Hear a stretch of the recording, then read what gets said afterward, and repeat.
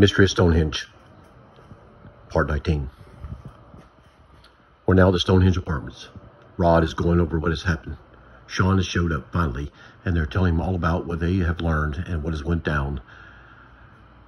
Sean may have some interesting information for them. Yes, Sean. Oh, yo. Yo, Martin, what's up? I have figured that the day that you made your videotapes, there was a crew of people there rehearsing or handling the gerbils and hamster wranglers. Is, that is that true? yes. Rod, what is... Just listen. What is the point of all this, okay? I know what I did. I, I, I, what? Sean, I need to know if you can recall anyone that was there while you did those videotapes. Someone there is the murderer, and someone there has kidnapped my Tinsy. Try to recall. Well, I got there about 11.30.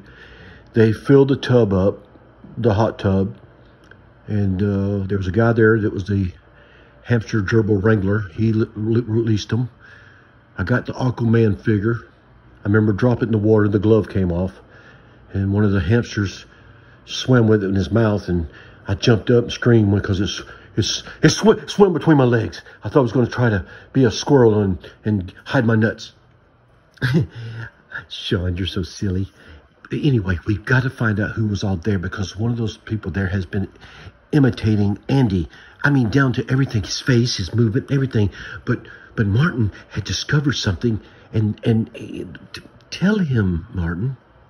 Well, we were in the room smoking a Marlboro after we had a little after, afternoon delight. Yes, he used his wrong hand. And I, I, I, I noticed things like this. The feel, the grip, just, just the, the, the, stroke of it all. It, it, it, it, it wasn't there. Hmm.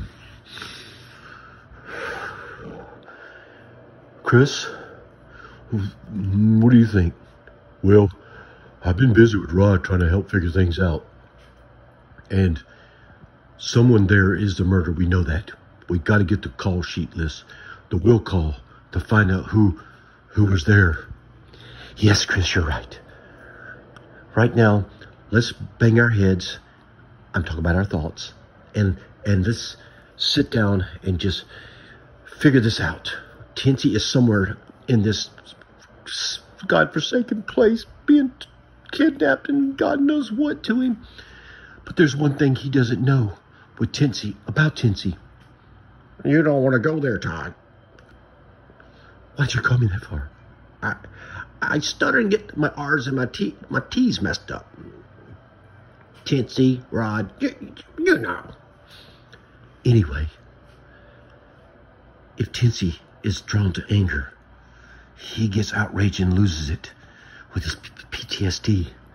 He becomes like a, a Brahma bull, a bull in a china cabinet store. He just tears things apart, a china shop. And if that happens, he can't be reliable. What will happen? Find out in the next exciting adventure of Mystery at Stonehenge in chapter part 20.